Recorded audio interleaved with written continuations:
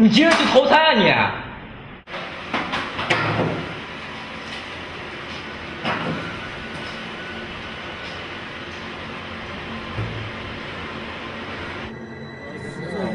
你这个懦夫！你这个懦夫！你这个懦夫！你这个懦夫！你为什么没来救我？少国，你怎么？了？没什么，我没事。我刚刚听到你大喊大叫，是不是出什么？事情了？我真没事，不要来烦我。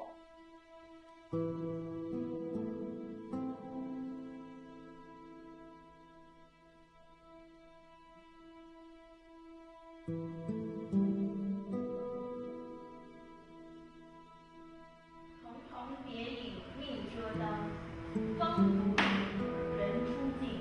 风后，真对不起啊，刚刚我没事儿，我只是担心你。担心什么？就是自从那件事之后，你知道那个人吗？哪个人？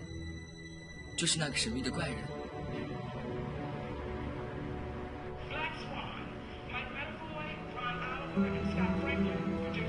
他穿着一身黑色风衣，戴着面具，帽子压得很低，身材跟咱俩差不多。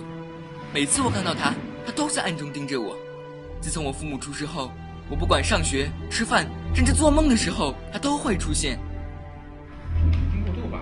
学校里怎么会有这样的人？他确实存在，而且就算现在，他还在盯着我。黄少国，你又听课了，出去罚站。老师，少国他……解释什么？再这样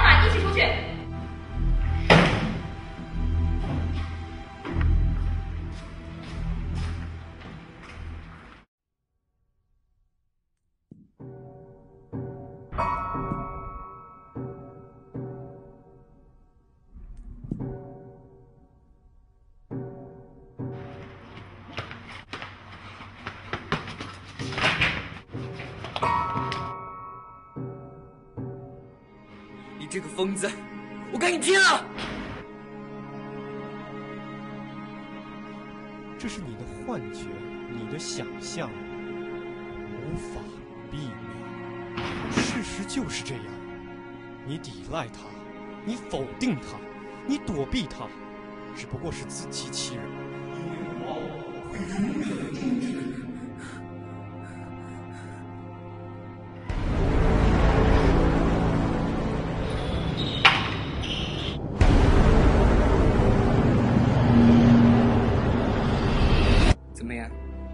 你现在还怕我吗？不，我再也不会怕你了。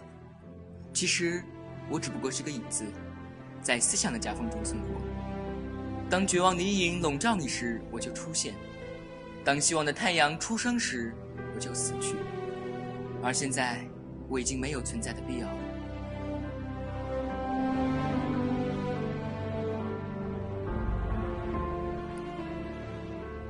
他走了吗？是啊，他已经永远的走了。老师已经将你弟弟调到咱们班里了，啊，树国，你要去找他吗？带上这个。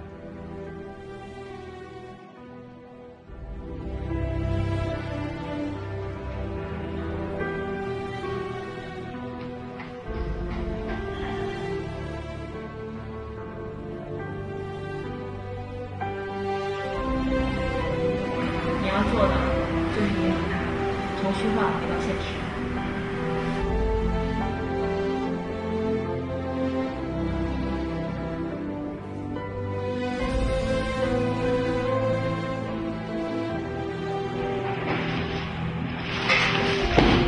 你今天去投胎啊你！